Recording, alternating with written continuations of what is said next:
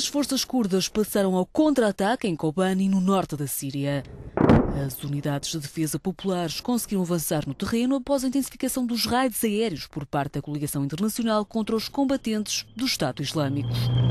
Ao reforço dos bombardeamentos soma-se uma maior eficácia, fruto da coordenação até há bem pouco tempo inexistente entre as forças curdas e os Estados Unidos. A porta-voz do Departamento de Estado norte-americano já confirmou que Washington está a negociar diretamente com o Partido Curdo da União Democrática desde o fim de semana passado.